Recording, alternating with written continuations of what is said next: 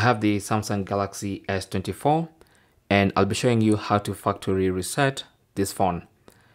Now, factory resetting will wipe away all your user data, all your settings, all your pictures, everything on the phone and just put this phone exactly the way it was when you first took it out of the box.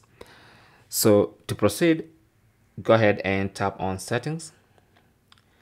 On the main settings page, scroll down to general management, tap on that. And then under that, scroll down to reset, tap on that. And then scroll down to factory data reset. Now, here it's going to explain to you what the factory data reset will do, but I've already explained that. So all these apps are going to be removed. So scroll down and tap on reset.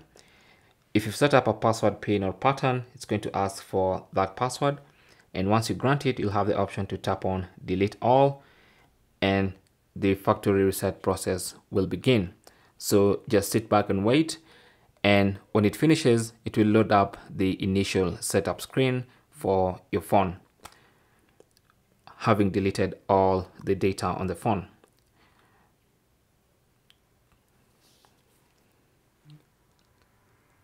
Now, the phone might restart one or two times during the process, so just be patient.